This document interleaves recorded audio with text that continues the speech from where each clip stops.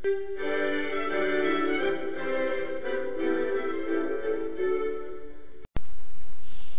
the four federal dams, Ice Harbor, Lower Monumental, Little Goose, and Lower Granite, located on the lower Snake River, be removed to protect salmon? This is a question people have been facing for years. Dams are made for navigation, hydropower, irrigation, and conservation benefits. There used to be lots of salmon, but when the dams were made, salmon started dying. Salmon have to migrate upstream, but they keep getting stuck in the turbines, so not as many salmon are surviving and coming back to spawn. Environmental groups are for the removal of the dams. They think without the dams, Riverside economy will increase. There will be more fish for people to buy and catch. And the Snake River is one of the only rivers that can still support salmon. Also, the river will get cleaner and the environment will be restored. Farmers are against removal of the dams. The cost of shipping will raise by 28%. They might lose land. The cost of electricity will increase, and removing the dams would eliminate water supply. Fishermen are also for the removal of the dams. Fishermen think that dams are destroying spawning habitats. Hatcheries can't eliminate habitat loss. Also, dams no longer make money. I think the dams should be removed. Removing four dams will not make a big difference. There are other dams we could that we could get electricity from. Also, hatchery fish are not helping. They can't spawn if they don't know where to go. Finally, salmon tastes good. Why should we lose it because of dams? To help save salmon, make sure you follow the fishing rules and help people who are trying to remove the dams.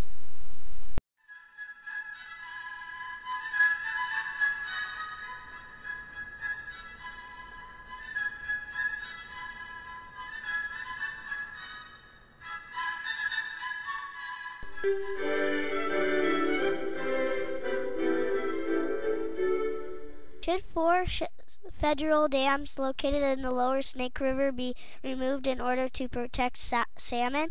This is a question that our community has faced for several years. All fishermen, including commercial, sport, and tribal fishermen, are for the removal of the dams. They feel they they feel the dams have blocked spawning rivers which provide fish to catch and eat. Less than 5% of the salmon's habitat remains. The rest of it has been destroyed by the dams. Salmon numbers have been dramatically gone, which means that there are fewer jobs for the fishermen. Right now, all fishermen are following strict rules that they tell them when they can do when they can fish and how many they can catch. Hydroelectric companies are against the removal of the dams. If the dam goes, they lose their jobs. Also, the lower Snake River dams supply our region with enough electricity to power a large city. They also supply us with most of our state's backup power for emergencies. Right now, the dams provide us with clean and cheap electricity, and if they were taken down, prices of le- electricity would increase. To make up for the their to make up for their part in the decline of salmon numbers, hydroelectric electric companies have changed the way they build dams and provide safer routes for salmon to migrate.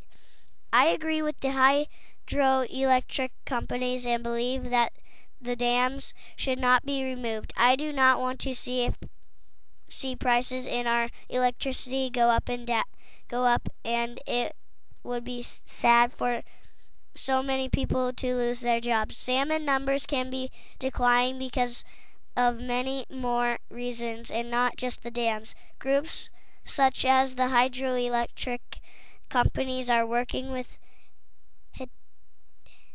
hatcheries to keep to keep the number of salmon from getting lower. If we can save salmon without removing the dams, then our family will still be able to pay the electricity bill.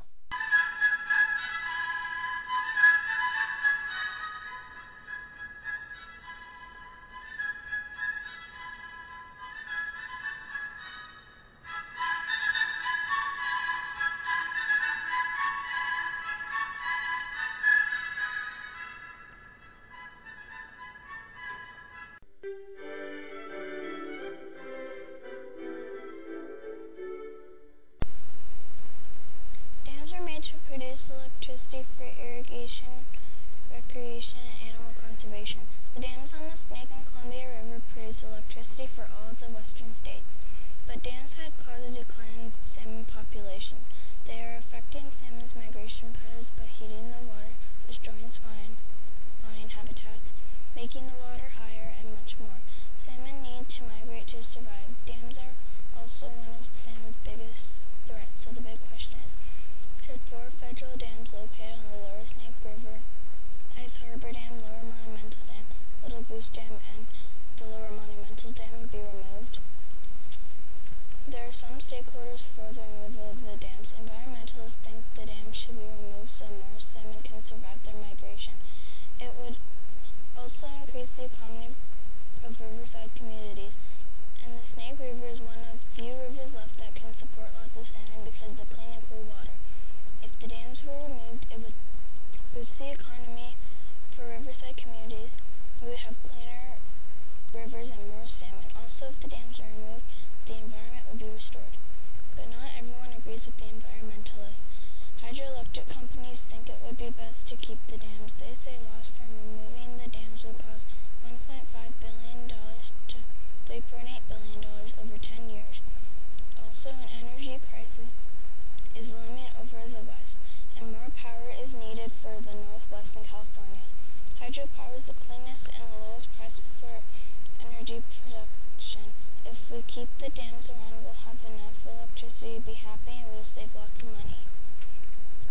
Another group agrees with the environmentalists to remove the dams. Fishermen, including commercial, tribal, and sport, also think it would be best to remove the dams. Dams have destroyed spawning habitats for salmon, and the fishermen, mainly commercial, depend on the salmon for their industry. Getting rid of the dams is doable because they no longer make economic sense. Also, hatcheries can eliminate, can't eliminate habitat loss. Even hatchery fish need a good habitat to survive. Fishermen think if the dams are removed, we will have a cleaner and better environment. There will also be more salmon. I agree with the and the fishermen on this issue. I agree the dams should be removed. More salmon will be able to migrate and hatcheries are not doing enough. Even if the cost of le- electricity goes up, people will know and try to use less. Also, the dams are not making any more money. I believe if the dams are removed, there will be more salmon in our environment. Now that I've told you my opinion, what's yours?